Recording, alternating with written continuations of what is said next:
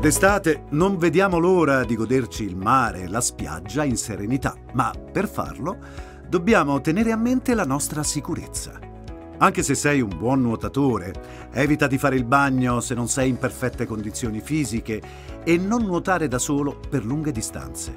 Questo ti permetterà di scongiurare situazioni di emergenza impreviste. Quando sulla spiaggia è esposta la bandiera rossa, significa che la balneazione è pericolosa evita di entrare in acqua. Per altri consigli per la tua sicurezza in mare, consulta il sito www.guardiacostiera.gov.it.